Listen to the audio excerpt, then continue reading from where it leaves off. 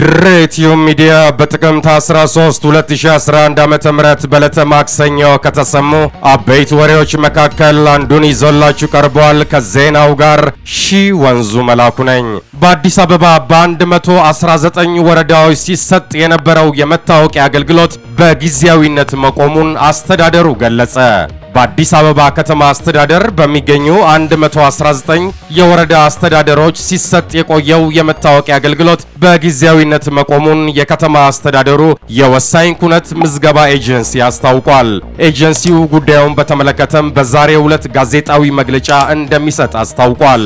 መታወቂያ መስጠት በጊዜያዊነት እንዲቆም የተወሰነው በአገልግሎት አሰጣጥ ላይ የሚታዩ ችግሮችን መቅረፍ እንዲቻል መሆኑን ኤጀንሲው ገልጿል።